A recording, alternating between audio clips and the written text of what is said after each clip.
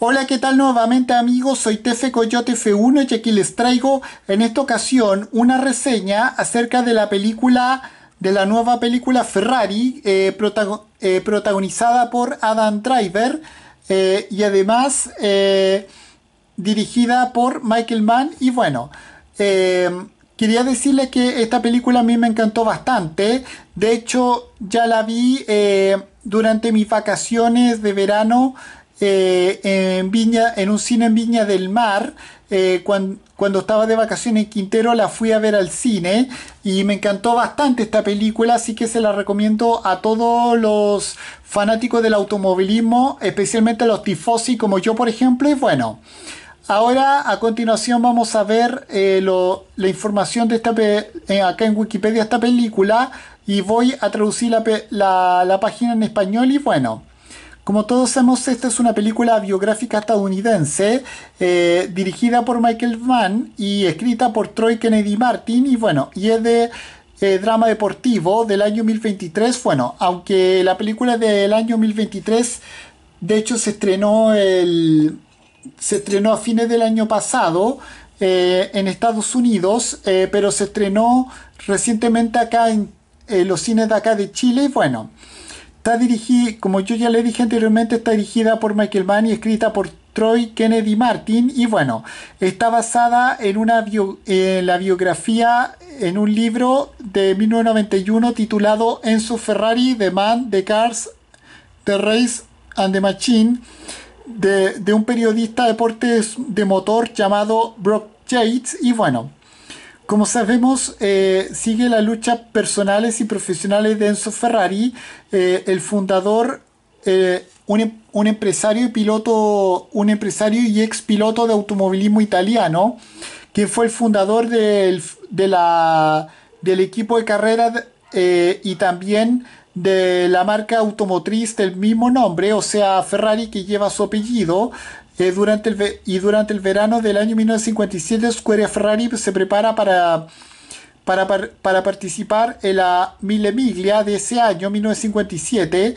y además como sabemos el personaje principal, o sea el legendario comendator en su Ferrari, es interpretado por Adam Driver y también eh, el elenco está protagonizado por eh, Penélope Cruz, Shailene Woodley, eh, Sarah Keaton, eh, Gabriel Leone, Jack O'Connell y también Patrick Dempsey, eh, precisamente, bueno, como sabemos fue seleccionada para competir por el León de Oro en, el octuagésimo Festival de Cine, Festival Internacional de Cine en Venecia. Como, como yo ya le dije, ya fue estrenada el 25 de diciembre del año 2023, o sea, para el día de Navidad del, último año y bueno, eh, la película estaba programada para estrenarse en el servicio de transmisión Showtime, pero finalmente fue estrenado en los cines Estados Unidos el 25 de diciembre eh, por la productora eh, Neon. Y bueno, la película recaudó 41 millones de dólares en todo el mundo y además recibió comentarios generalmente positivos de parte de los de los críticos y fue nombrada una de las 10 películas 2023 en la Junta Nacional de, Revisión de Películas. Y bueno, como yo ya les dije, bueno, la película está dirigida por Michael, Michael Mann.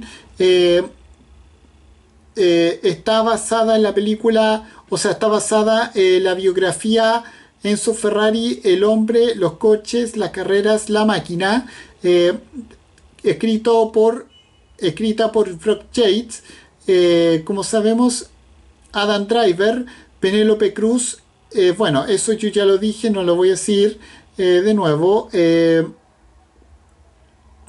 como sabemos, la como sabemos, la música está hecha por Daniel Daniel Perverton,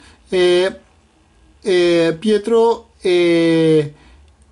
Pietro Scalia es el es el que editó la película, la cinematografía, la, fotografía estuvo a cargo de Eric Messerschmidt. Eh, bueno, y además, eh, bueno, eh, bueno, se lanzó el 31 de agosto en de 2023 en Venecia. En Estados Unidos se lanzó el 25 de diciembre, o sea, para el día de Navidad del último año, como yo ya dije. bueno, dura 130 minutos. Eh, su país de origen es Estados Unidos, el idioma es inglés, su presupuesto fue de 95 millones de dólares y en taquilla recaudó 41,5 41, millones de dólares. Y bueno, eh, como todos sabemos, bueno, está distribuido por eh, la compañía Neon eh, precisamente. Y además la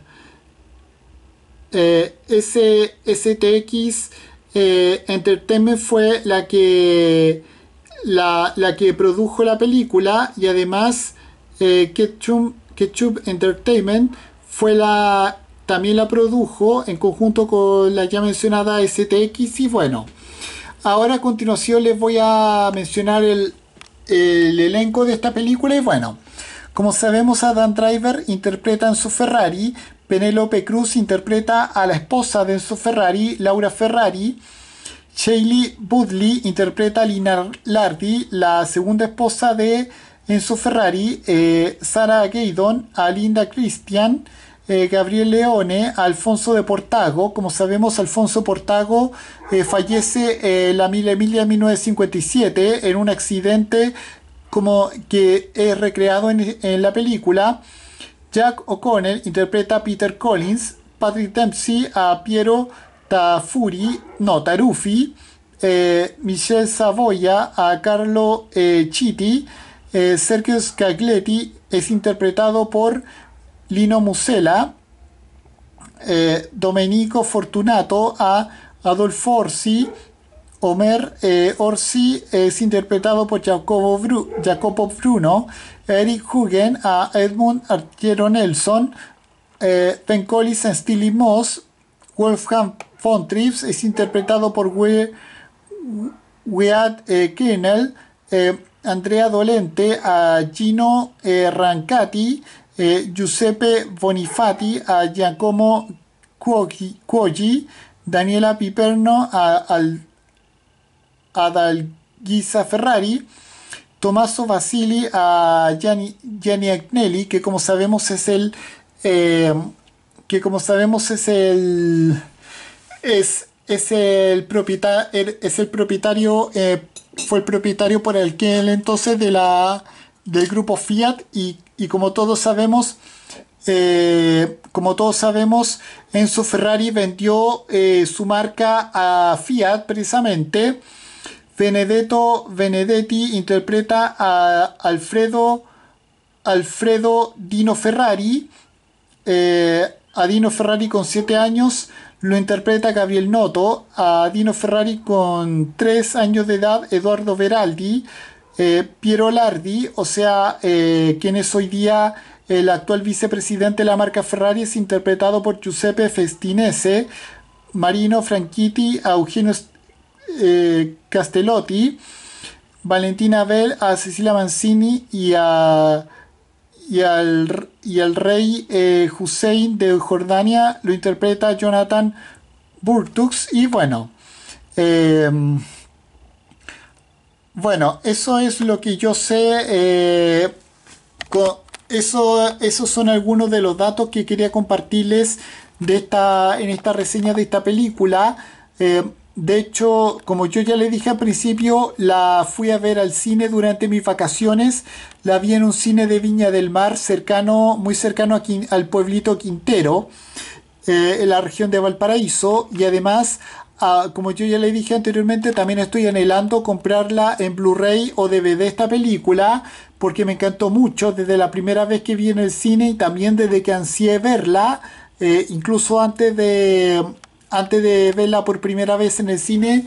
Eh, eh, me encantó mucho esta película, así que espero que próximamente ya esté, ya lo tenga, tenga el Blu-ray o el DVD en mis manos y bueno. Y con esto, bueno, con, con esto finalizo esta reseña.